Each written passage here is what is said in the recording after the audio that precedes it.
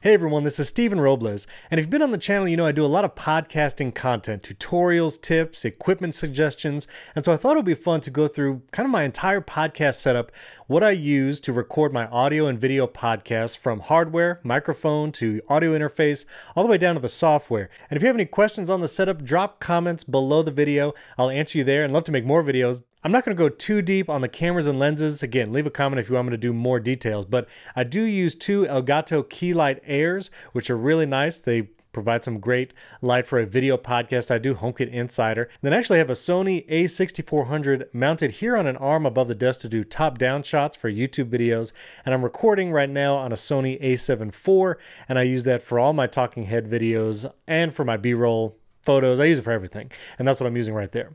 But to jump into the audio side of podcasting, I've gone through a lot of mics. I actually did a whole video on some mic recommendations from beginner mics, USB mics, which would be great if you're starting out, all the way up to higher end mics. I had the Shure SM7B. You know, everyone sees this mic everywhere, and it's a really good mic. But I honestly found one I liked even better, which is the Earthworks Ethos microphone. I've been using this not only in my videos, but I use it for all my podcasts Apple Insider, Movies on the Side, HomeKit Insider. I just love the way it sounds, and it doesn't need some kind of like special audio interface. You could plug it into like a Scarlett 2i2 or similar audio interface, and you'll get a great sound, great volume. You don't need anything special. So that's the Earthworks Ethos microphone. The microphone is on this Rode PSA 1 mic arm mounted to the desk, and the microphone is going into this, which is my audio interface. I'm actually using it right now, but I'll show you some B-roll of it. This is the Sound Devices MixPre 3. It's kind of hard to get right now. It's not readily available. They do have a MixPre 6 larger version, but that's kind of overkill for what I'm doing. But the reason why I love this audio interface is one, when I was using the Shure SM7B, it had plenty of gain to drive that mic. I didn't need the cloud lifter or anything else. I could just use the MixPre 3 and its preamps are incredibly powerful. So I was able to just use this.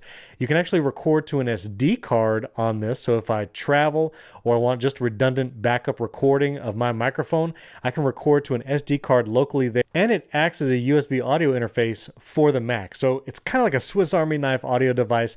It's not inexpensive. You know, it's about seven $750 if you could find it, but I'll try and find a link and put it in the video description, and links to everything that I talk about will be there as well. So the microphone's going into this, and also connected to the Sound Devices MixPre 3 are my headphones of choice. Now, you can use cheaper headphones, you can use AirPods. Just make sure you're using headphones when you record your podcast. Otherwise, you're going to get that echo from the speakers of your computer. But I use the Beyerdynamic DT770 Pros. This is the 250 ohm version. Really good high impedance headphones for reference monitoring and editing. I actually have a whole video talking about some headphone recommendations and why you shouldn't use AirPods when you edit your podcast. I'll link that video above as well.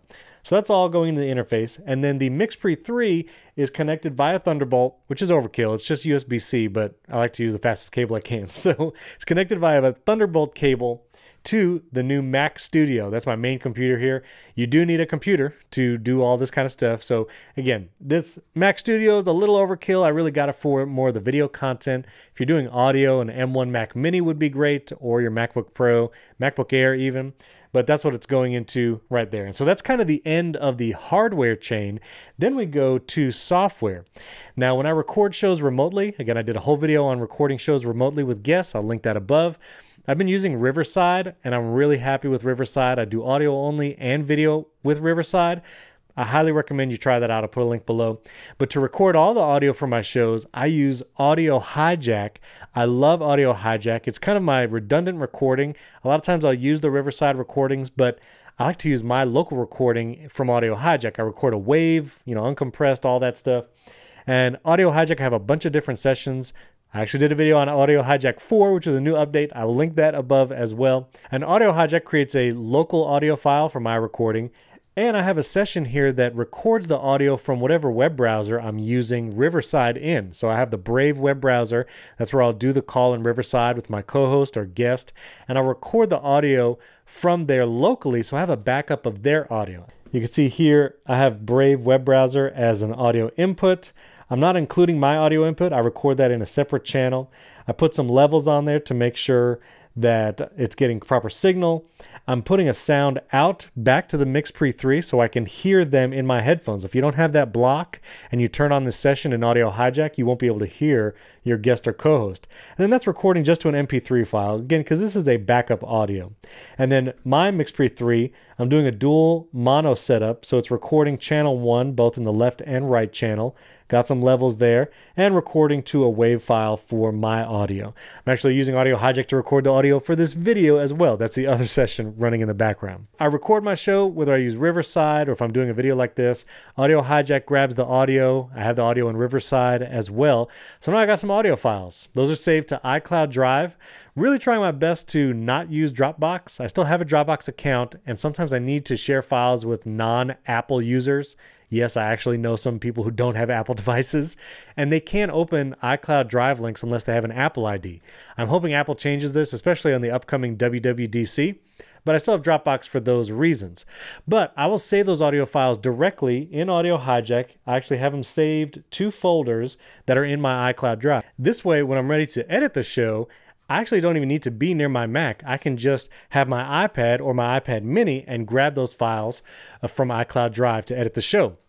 Which now we get to the editing side. So we recorded our show, that's all the hardware and the software to record, and then you have to edit your show. Now, when it comes to editing, I have videos on this. I'll link them above.